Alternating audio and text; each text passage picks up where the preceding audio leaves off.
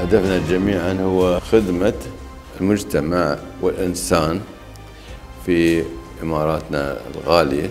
دعوتكم اليوم أيها الأخوة والأخوات لتعريفكم تعريف أبناء وبنات الإمارات من خلالكم بمهرجان الوطني التسامح الذي سوف ينعقد في الفترة من 9 و 16 نوفمبر السنة الحالية تحت شعار على نهج زايد.